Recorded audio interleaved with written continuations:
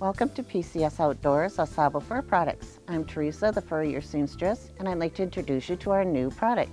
These are our new teddy bears. Our teddy bears are made right here in Oscoda, Michigan, and this is a red fox, and this is a muskrat.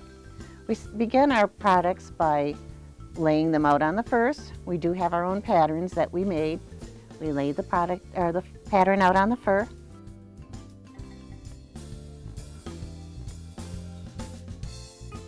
we trace it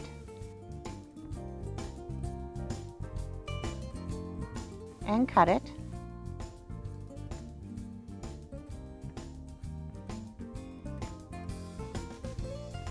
And after we get it cut, then we go ahead and we start sewing.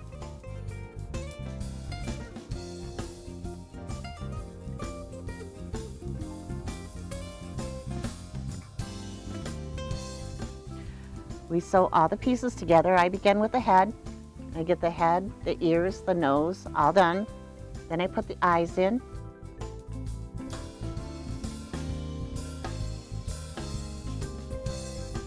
I put the nose in. Then I go down to the body. I create the arms, the legs, and the main part of the body. Put them all together.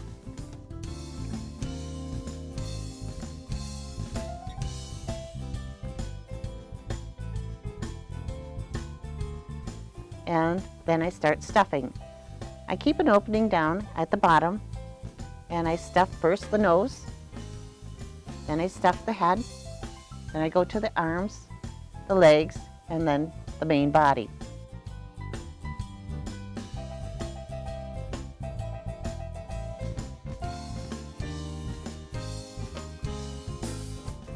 When I'm done stuffing him, I check him over, make sure that he looks good, that he Feels like he's completely stuffed. And I sew up the bottom area.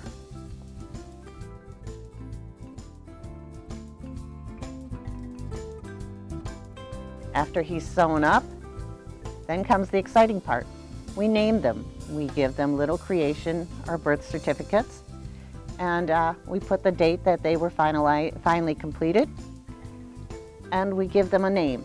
Now you can change this name if you want to, but this is the name that we all, as a group, decide that that's the name the bear looks like.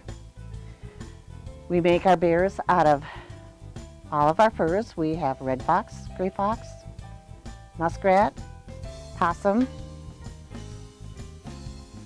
raccoon, beaver, skunk, and uh, I enjoyed creating these bears and we hope that you enjoy giving them a home. Thank you.